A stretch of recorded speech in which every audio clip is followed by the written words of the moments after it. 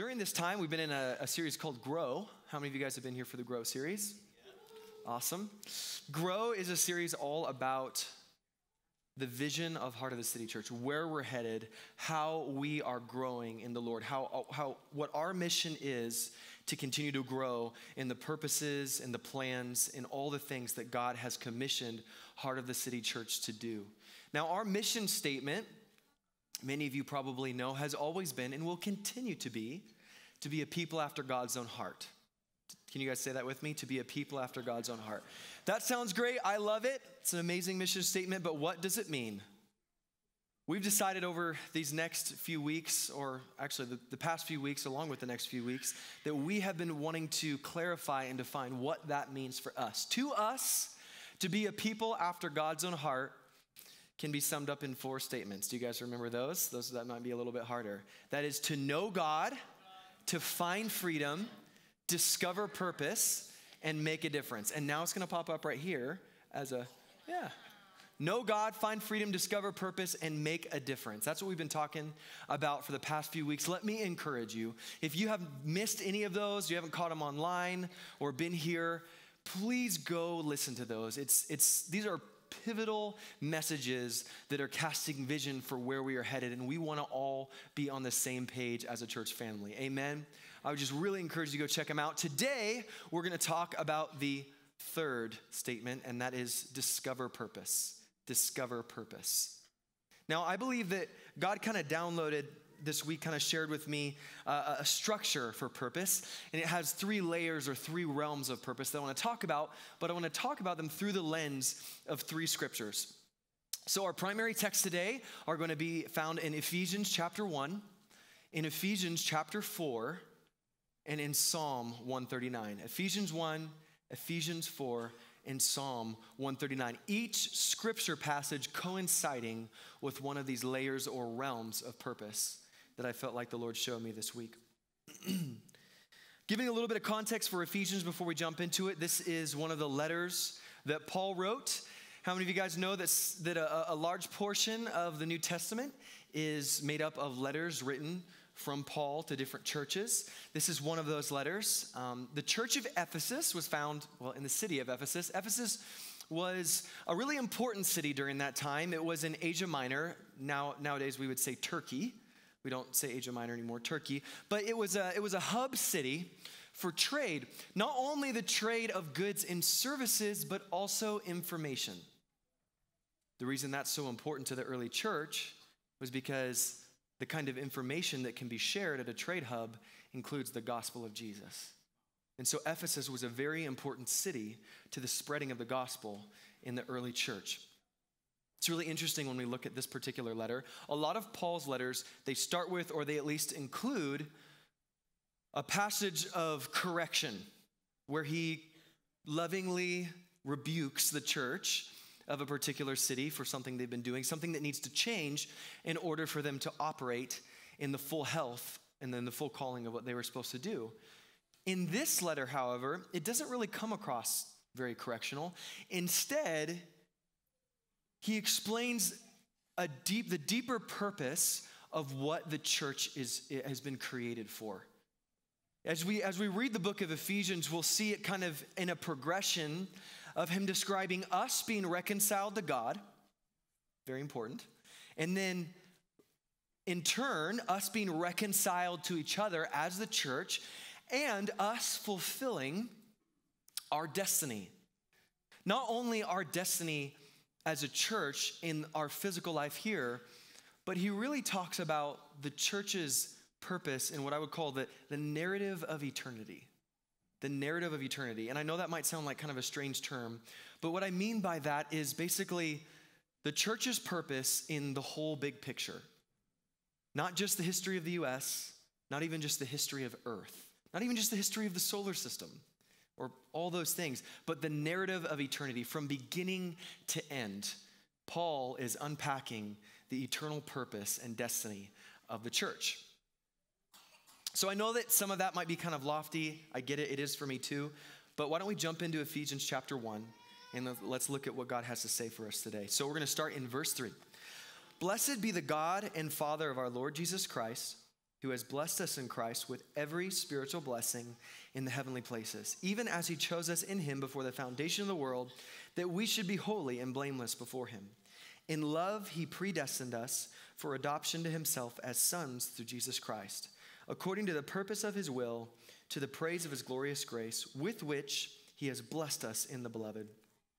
In him, we, so beloved there is, is Jesus Christ. We're, we're in Christ. He's blessed us in Christ. In him we have redemption through his blood, the forgiveness of our trespasses, according to the riches of his grace, which he lavished upon us in all wisdom and insight, making known to us the mystery of his will, according to his purpose, which he set forth in Christ as a plan for the fullness of time to unite all things in him, things in heaven and things on earth.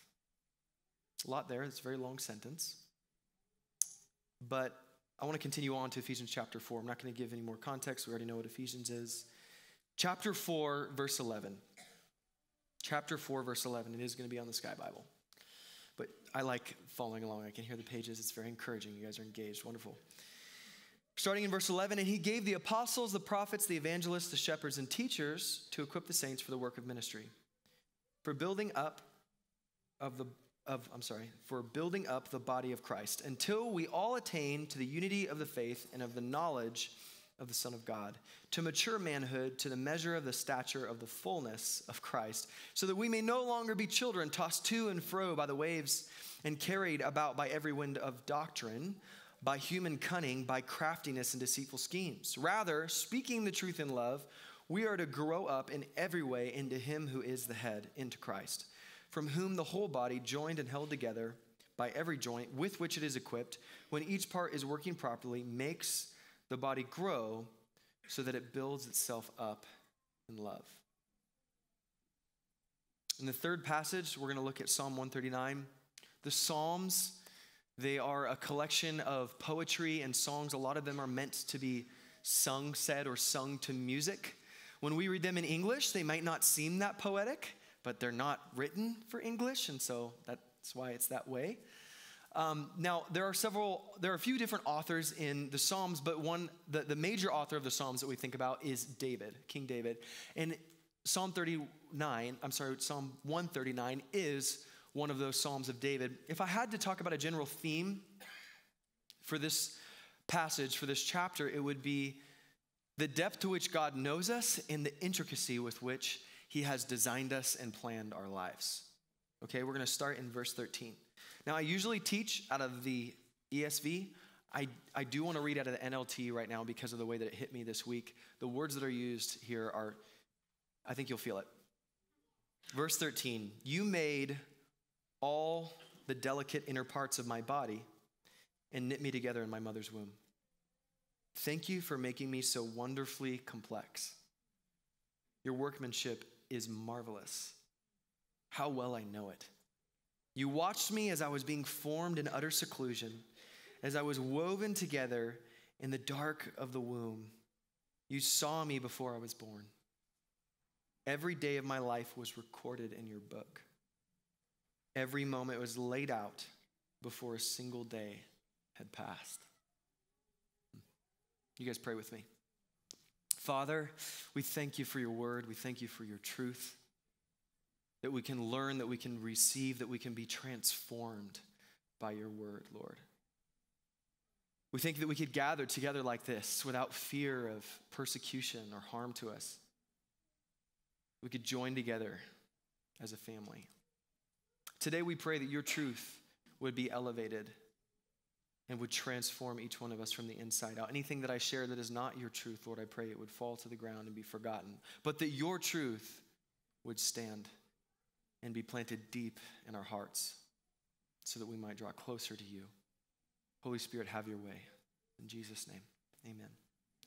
So, like I said a few moments ago, I felt like God gave me this three part structure of purpose, and that it's displayed in these three scriptures that we just read from Ephesians chapter 1, Ephesians 4 and Psalm 139.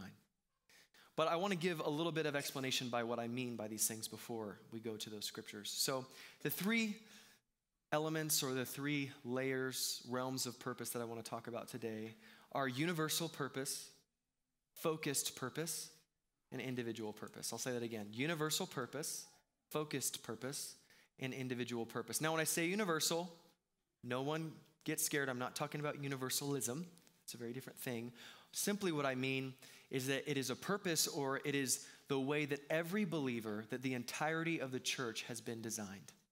Okay, as an example, all believers were designed to love God and love people. Amen? That's a part of our universal purpose as the church. All believers were designed to make disciples. Amen? Amen. Amen. That means me, that means you. So it is, it is this purpose that applies to all believers, to the entirety of the church. The second one, focused purpose. So this would be what I would call the type or the lane or the theme of your design. Often this is expressed, or this would be expressed in gifts and passions. Okay, gifts and passions. Now, examples of this, I think Craig has been designed to teach. I think Connor has been designed to shepherd. My wife has been designed to give wise counsel. Topher has been designed to create and to perform. Now, I'm not meaning any of these to be all inclusive and the only thing that they're meant to do, but I think if you were to talk and get to know each one of these people, you would find those statements to be true about their design, about their theme or their lane or the type of their design. And then the third one, our individual purpose, is the one of a kind design built to accomplish your specific mission in life. And I think the best example that I can give for that would be my understanding of my, my individual purpose, my specific design.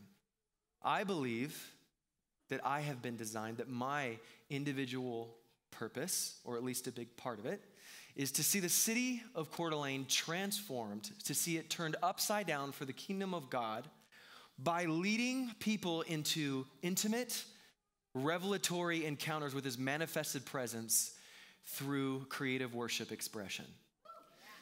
Now, amen.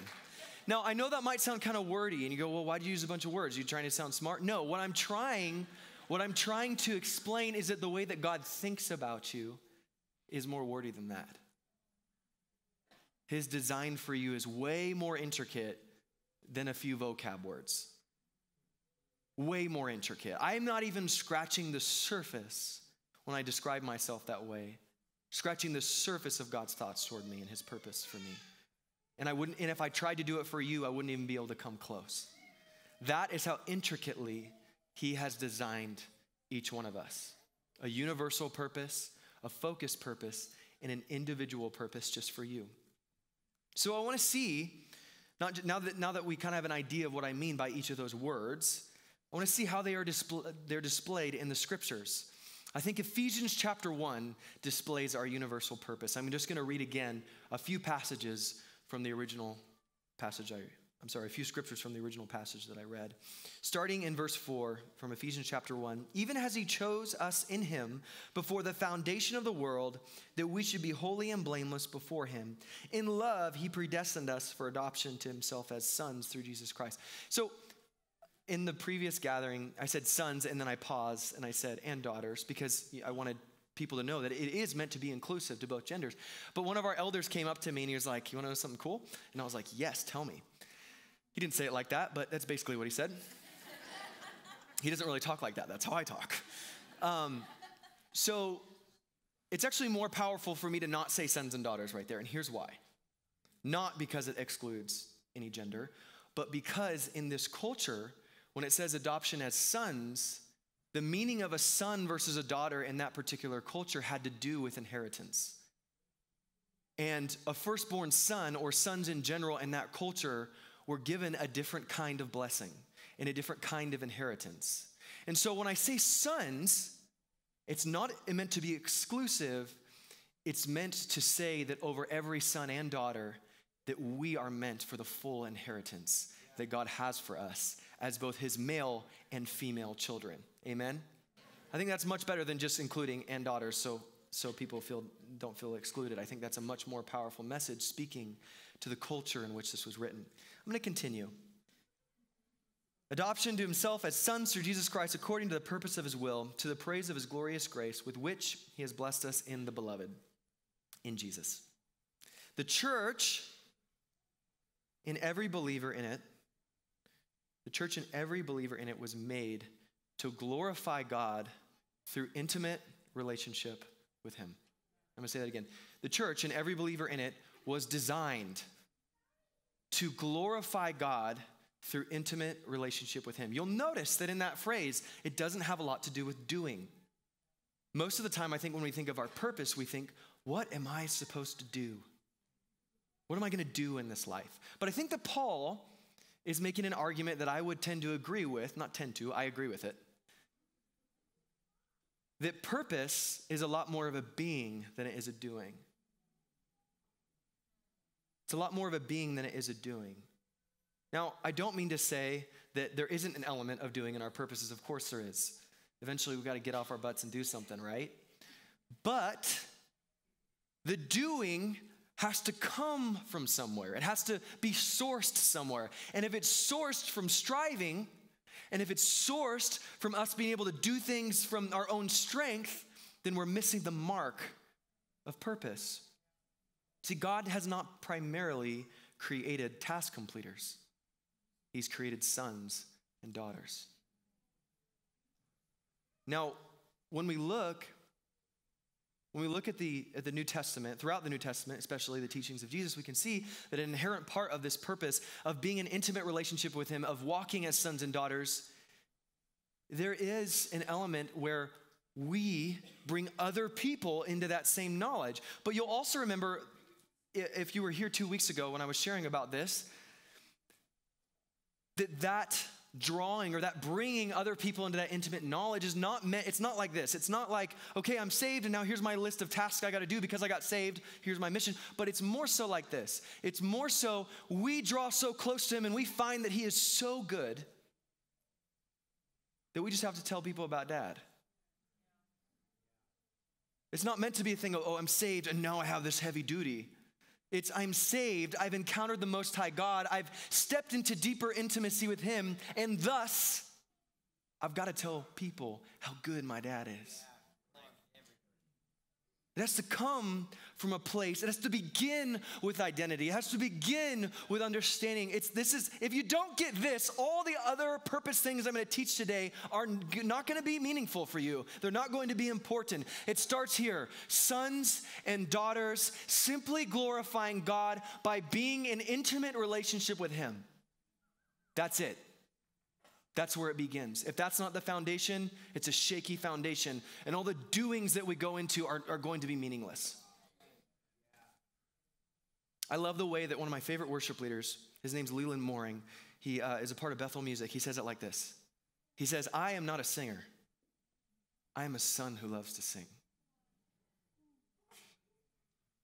I love that distinction because it speaks to how primary and how foundational our identity as sons and daughters is to anything that we do. Whatever you do, whether you're a singer or a, a, carpenter or a, or a computer designer or whatever it is that you do, you're a son or a daughter who does things. You're not a doer of those things primarily. You're a son or a daughter who happens to do things, and hopefully, if you have an understanding of your sonship, it is from overflow. It has to be from overflow. That's the only way it will be meaningful, is if it is from overflow of intimate knowledge of this God. Okay. That's our universal purpose. Let's continue. Focused purpose. Ephesians chapter 4. Okay. Ephesians chapter 4, I'm only going to read verses 11 and 12. And he gave the apostles, the prophets, the evangelists, the shepherds, and teachers. So, shepherds there, we, uh, another translation is pastors. You probably will have heard it that way before. And teachers, it's really interesting. That word is actually shepherd teacher. We shorten it to teacher because it's simpler, and, but it's actually a shepherd teacher. So, anyway, um, to equip the saints for the work of ministry for building up the body of Christ. We have all been given gifts and passions that God wants to express himself through for his glory to accomplish his, to accomplish his purposes on earth. Now, I don't want you to be discouraged if you're reading Ephesians chapter 4 and you see apostles, prophets, evangelists, pastors, and teachers, and you go, I don't feel like any of those because it's not meant to be an exhaustive list. How do we know that? Well, we see these, we see other passages like this, other lists that have these gifts and these ministries, and none of them have all the ones that the other ones have. And so we are led to believe, and many, most biblical scholars would come to the conclusion that these are not exhausted lists, okay? So I'll give you another example from 1 Corinthians chapter 12 to help explain what I mean. And maybe I'll talk a little slower too. Sorry. I'm feeling jazzed right now. Something about, man, that, that 11 11, that 11 11 worship had me like, a, okay? So I started sweating a long time before I came up here. All right.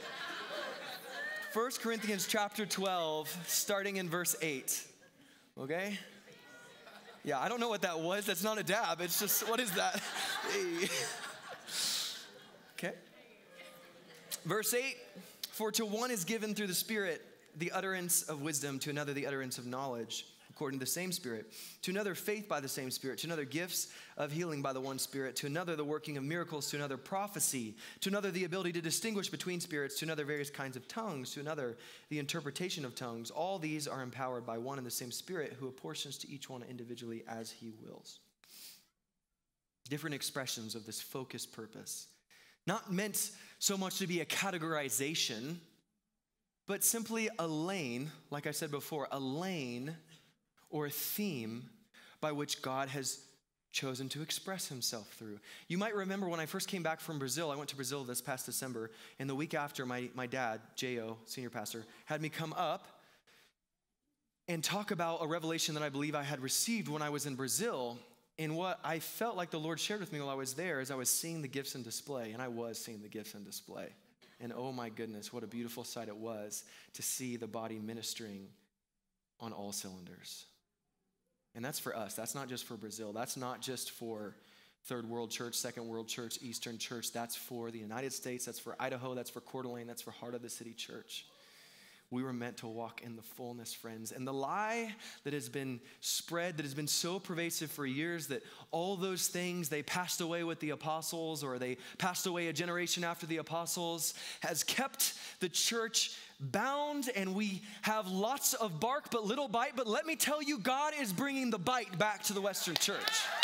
God is giving us our bite back, and our bite back is walking in the full expression, the fullness of what He has called us to. And I'm telling you, it's gonna get uncomfortable. It's gonna get uncomfortable. It is. If you look back through those gifts along, along with other lists, it's going to get uncomfortable. It's going to get uncomfortable when someone comes up here and believes that they have been given a tongue that's meant for interpretation, and you're going, Never seen anything like this on TV. but it's a part of the fullness. Don't let it weird you out. Don't let your don't don't let your filter be everything that you've taught in the Western world. Let Scripture be your filter that you put everything else through. God was never meant to be something that we criticize from afar and we go, let's see if God fits through all my filters of what I believe goodness to be. God is the source of goodness, He is what defines goodness. The Word and God is the filter, not your set of morals and ethics. Sorry. The whole my individual belief system thing is a lie. It's a lie. One God, the Word, that is the filter. So, gifts. They're like love languages. Gary Chapman, you know, five love languages, you know, he would say that we, we, express, we express and we receive love through, um, you know, um, quality time. I don't want to say them all, it's going to take too much time, but you guys know. the five love languages. But here's what I'd say I, I don't think that the spiritual gifts are so unlike those we like I'll express love to Logan by by saying nice things like, "Oh, you look so handsome today. I love your key necklace." Right? Words of affirmation. But the way that God wants to love on you, Logan, is for him to give me a word of knowledge about your life that breaks down every wall so that your heart is softened so he can cut right to the main issue. God expresses his love for his people through one child to another child through these things like words of wisdom, words of knowledge, miracle, miracles, healings. It's not just so that we can celebrate a powerful display, it's so people can be loved and their hearts can be open to the truth of the gospel. We think, how arrogant is it, is it for us to think that we can walk around and we go, well, you know, I know the apostles, they walked in miracles and, and spoke truth. I know that Jesus walked in miracles and spoke truth, but all I need is truth. I don't need miracles. Who told you that? Who told you? Jesus and the apostles, it was a partnership. They walked in the supernatural and they spoke the truth of the gospel. They walked in the supernatural and they spoke the truth. That is for us, friends. That's for us. Okay. See, did I say everything? Yeah. We'll go ahead and move on. Individual purpose. Individual purpose, I think, is expressed in Psalm 139. I'm only going to read verse 16 this time. Just let this sink in so deep. This is so rich. This is so good. It's so countercultural. It's so God. This thing, I'm not saying everything I'm saying. I'm not speaking about that. I'm talking about this specific scripture. Psalm 139, 16. You saw me before I was born. Every day of my life was recorded in your book. Every moment was laid out before a single day had passed. I'm a self made man. I'm gonna go, I'm gonna go, I'm gonna go create my own destiny or future or whatever those memes say. What a bunch, what a crock. He wrote your whole book already. You wanna know why your life maybe feels like, I mean, if it is, feels like it's pulling teeth? Because you're trying to write another book when he's already written one for you. He's already written every page before you were born. And we go and we try to do this thing of like ourself and like care for yourself and do what's best for you and all these things that sound really nice, but they're totally anti scriptural. It's not what God has for you. Of course, He wants you to be cared for.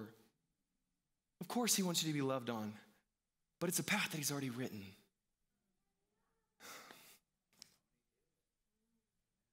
Okay. Yeah, I'm gonna skip some of this. You know, this, this particular section of purpose, um, I just, I feel like we need to hang here for a minute because I, I believe. So this is, like I said, this is the one of, one of a kind design. One of a kind design. The mission just for you, only for you, only for Aaron Barather. Just for you. That you were born for. No one else can complete it. It's just you. I want to sit on this one for a minute today because I think it's the one where the enemy really digs his teeth into. Now, I think he's trying to steal all of our purpose. I think he is trying to lie to us and say we're not sons and daughters. I think he is trying to lie to us and say we don't have gifts and passions, but a lot of us can accept those things. I can accept that I'm a son or daughter of God. I can accept that I have these gifts and passions, but what makes me me? What makes you unique? Why do you need to bring your thing to the table? And he comes in with these little pervasive lies and he said, there are 10 people who can do this better than you. Why even try? Someone's already done this. You're not unique. You don't have something fresh to bring.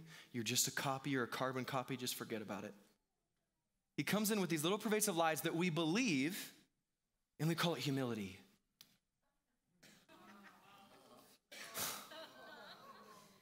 and it's just not. I, I felt like the Lord shared with me this weekend as we were as I was preparing, there was going to be people in the 1111 gathering who have considered and even attempted suicide. And I'm not going to ask anyone to identify themselves. I don't, I'm not, I don't want to put you in that situation.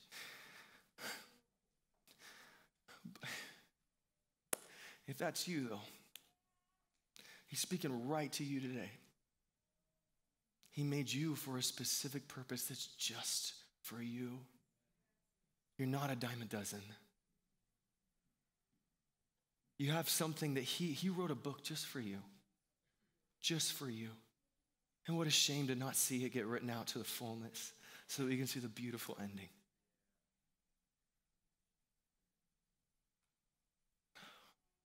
If that's you, if, if, if, that's, if that's where you've been, please don't, please don't do it alone.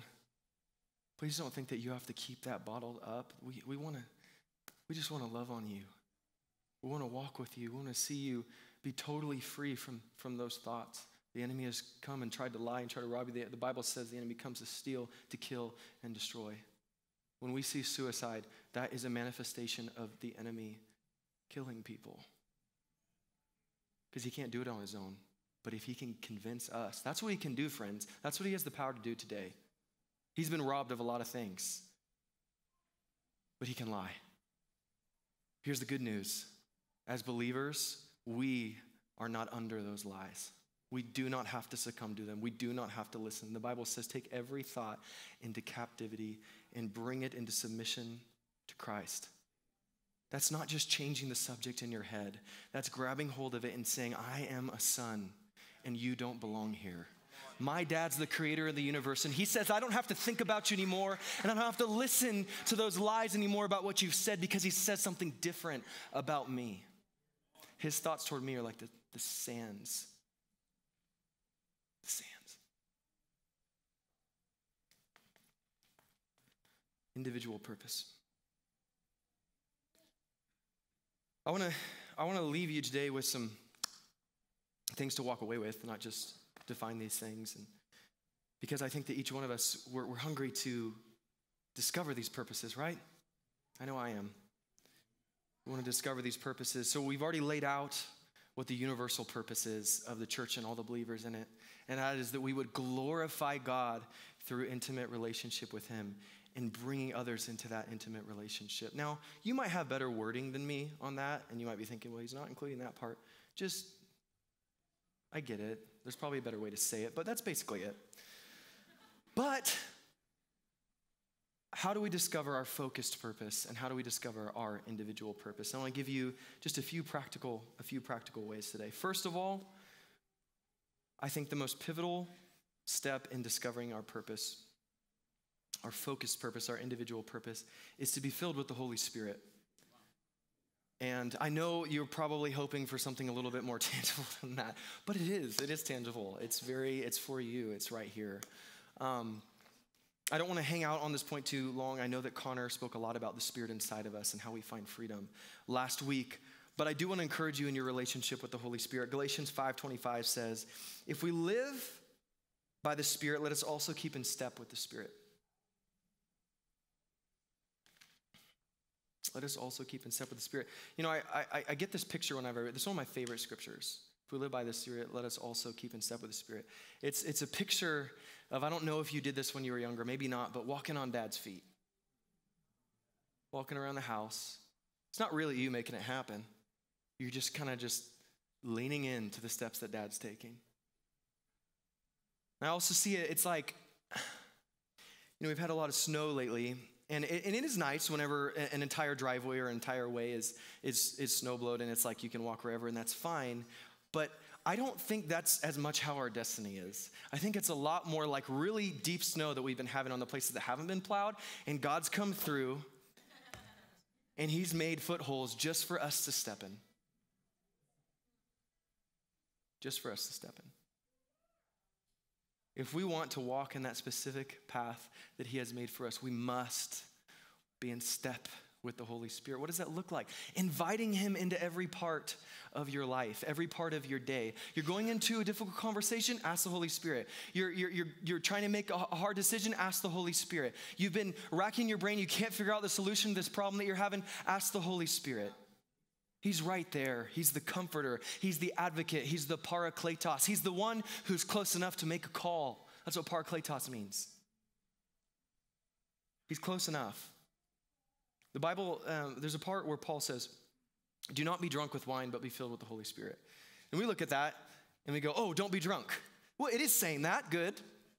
But there's a deeper truth there a much deeper truth. But be filled with the Spirit. See, it's hard to translate in English, but what he's really saying is be being filled with the Spirit.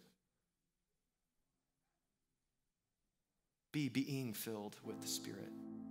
It's a continual feeling because when we go about this life and we mature in Christ, which we're all called to mature in Christ, as it's as we were just seeing in Ephesians, He increases our capacity. And we're not meant to walk around as half full or half empty or even full full. We're meant to walk around in overflow, like what I talked about earlier. We are in need of a continual filling with the Holy Spirit. So before we get to any of these like practical things, that there are practical things, I encourage you. What does your relationship with the Holy Spirit look like? How often is He in the conversation of your mind? Secondly, we discover purpose by surrounding ourselves with people who are hungry for God's purposes in their life. And I'm not even really talking about coming to church, although good, come to church. Um, and by the way, that phrase doesn't really make a whole lot of sense. Um, you are the church. Come to come to when we gather. Gather with the church. You are the church. You're the bride. The church is a, is a group of people. It's the believers. It's the body of Christ. But do that. But honestly, coming here and sitting here for an hour and a half once a week and worshiping and hearing the word taught is a beautiful thing. Continue to do it. It's a big part of how we continue to encounter God and we grow. But if you want to know the deep things, you have to go to the deep places. And an hour and a half once a week is not going to cut it. So there's this saying in the church we say, everyone needs a Paul, a Barnabas, and uh, a Timothy. Paul, Barnabas, and Timothy. What's meant by that? Everyone, we all need at least one person, doesn't have to just be one. We need one person pouring into us. We need people that we can walk with as peers in this battle, and we need someone to pour into. I can't tell you, it is absolutely invaluable. You can't put a price tag on it to sit down with someone who's a few steps ahead of you and hear them share wisdom. And by the way, when you get that opportunity, it's good to not talk for some of it. Sometimes we find ourselves, we, we, we, come, we come to someone, we meet with someone who has wisdom that we want wisdom from, and we spend the first 30 minutes trying to impress them with our wisdom. Just shut your mouth. And by the way, I'm preaching to me. Preaching to me. I sit down with these people that I want wisdom from, and then I share and I use big words, and all of a sudden I'm like, why didn't I just listen? I asked to meet with them because I want to grab something from them. That's, that's for free. But it's not just about being mentored, it's about mentoring, it's about pouring into someone's life. If you haven't had this discovery yet, here's what you'll find. When you take a step out of the boat into mentoring someone else, um, you, mm, you're gonna be amazed at how much you will discover about yourself. If you've ever been put in a situation where you have to teach, it's amazing how much more you learn when you have to teach something. I remember the first time I was invited to do a teaching on songwriting. And I had written many songs and I'd felt good about being able to write songs, but I went, I don't know how to write songs, I just do it. But when I forced myself to sit down and think through the way that I write songs, I was able, it, it, wasn't just for them, it was for me. I learned how to write songs by being intentional about looking at the way that I wrote songs. When you pour into someone, you will be forced to examine the way you do things and you will learn more about yourself. You want to discover your purpose? Step out of the boat. And by the way, this whole thing, I'm not ready. You will never be ready to mentor someone. You're never gonna be ready to go, I'm doing all these things well, and that's why I have the authority to speak to you this way. If you wait for that, you'll be dead. I mean, you'll be you'll pass on into heaven is what I mean, but you get what I mean. If you wait for that, you'll be in heaven. There'll be no one to mentor because we'll be in perfect revelation of Christ there. There'll be no wisdom to give, no counsel to give. You want to wait for that? Too late. Heaven will be great for many things, but giving counsel will not be one that is needed. Okay. You got that one. Third, we discover purpose by drawing from our experience and our skill sets. What are you already doing? What are you already inclined you're naturally inclined to do? What do you what do you already like to do? You know, I think sometimes we look at the way we make money or our hobbies or our interests and we go, that's just natural. How can it be used for the kingdom of God? First of all, nothing is just natural. Nothing is just natural. Sometimes we walk around. I watched um, this movie. Well, should I say that? Anyways, I watched The Matrix the other night. And I don't, I'm not endorsing it, okay? I'm not endorsing it. There's violence and it's, you know. But I'll say this it was all these people. I don't know how much I want to explain this. Um, this, this earth was not the truest form of reality. There was actually this other deeper form of reality, and everyone was just kind of like plugged into these things, and we, this was all just like a program. Now, I'm not saying that this life is a program, but what I am saying is this the spiritual realm is the truest form of reality. I'll just say that. Like we look at we, we, we look at the, this empirical world and we go like, oh, this is real, but the spiritual world is kind of a maybe, kind of a I hope it's there kind of thing. But that's the that's the eternal being, is the spirit inside of you. So nothing is just natural. Nothing is just natural. God wants to use the things you're already doing. So if you work on computers, maybe you're supposed to pioneer a ministry where you help elderly people navigate their devices. That is such a need. And I'm not, I'm not p- pointing fun at, at elderly people at all. I'm just saying, I mean, wouldn't that be cool, elderly people, if you had people who are good at computers who could help you navigate your devices and use them to the full extent? I think that'd be amazing. Maybe you work on cars. Maybe you're supposed to get some other mechanics together and do free oil changes for single parents. Maybe you're an accountant or you work in finance and you're supposed to start a group that helps people steward their money so often we, we belittle, we say, oh, that's just my career. That's what I do. So there's my work life and there's my ministry life. There's my this and there's my that. We categorize things that aren't meant to be categorized. It's all you, it's all what you're doing. There's, there's, there's overflow into the other parts. Those things that you're doing in the natural world, that you're in, in order to earn your income and or hobbies or interests, those things are meant to be used for the glory of God. If you've ever read, if you haven't read the book, The Practice of the Presence of God by Brother Lawrence, I encourage you to do that. It changed my life. It's my favorite book other than the Bible of all time you can do everything other than sin to the glory of God. You can use it for kingdom purposes. We sit there and we go, How can you use this? And, and, and God's going, It's right in front of you. You're already doing it. There's just more to be seen. There's, there's just another element. There's another, there's a whole other realm of what you're already doing that can be used for the kingdom of God. To draw from our experiences and our skill sets. Next, we discover purpose by reflecting on our pain.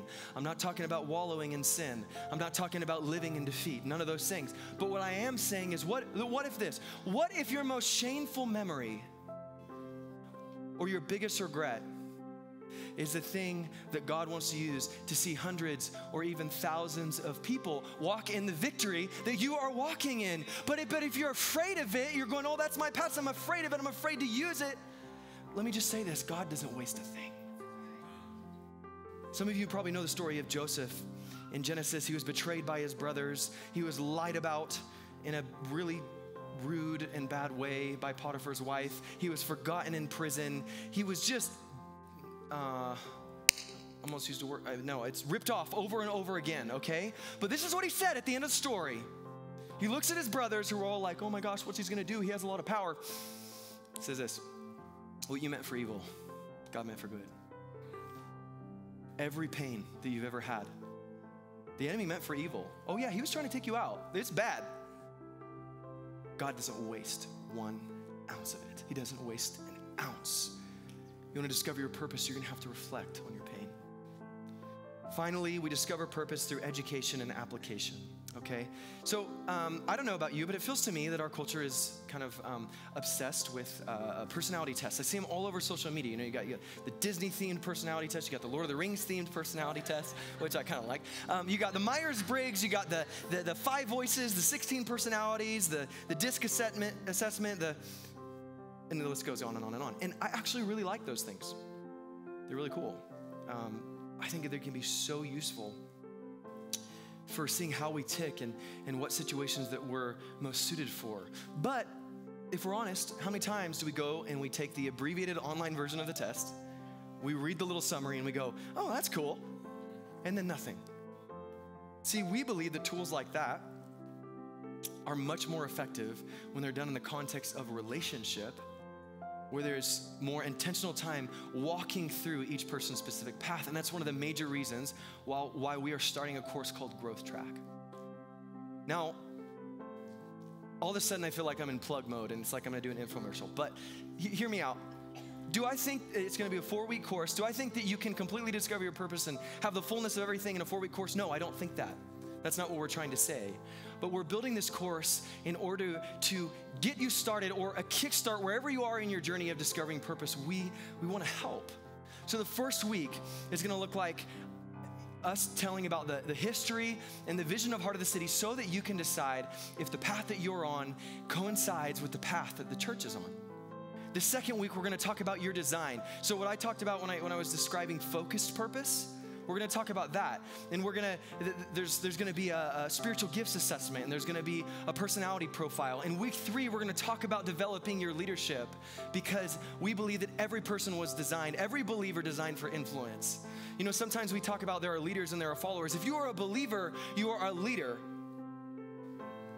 I don't know if you all agree with me with that. I don't care. If you are a believer, you're a leader. Now, you're also a follower. We're followers of Christ. We're followers of those who go before us. We're followers of those uh, who lead us, who we're under authority of. Yes, we're followers, but we're also, if you are a believer, you're meant to lead. You're meant to influence. You are meant to drive forward and have other people in your wake.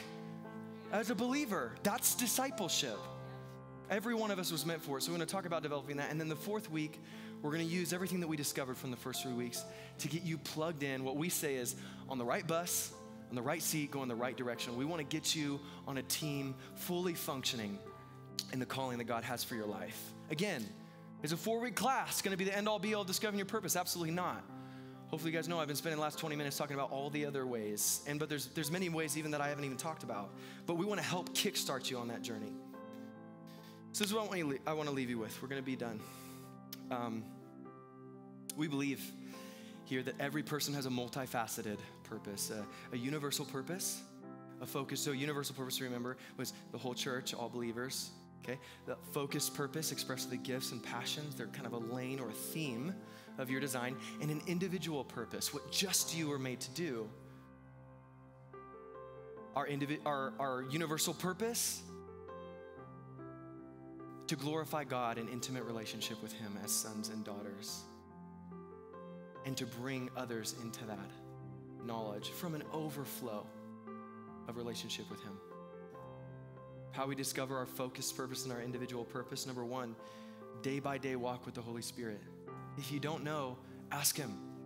He's the source of all knowledge, He's much more reliable than Wikipedia. Two, being surrounded by people who are chasing after the purposes of God. You need someone pouring into. You need someone that you're running the race with, and you need someone that you're pouring into. Number three, drawing from your life experience and skill sets, it's already sitting right in front of you. Perhaps not the fullness, but there's a good chance that a large part of your purpose is already sitting right in front of you within the natural inclinations and skill sets and life experiences that you already have.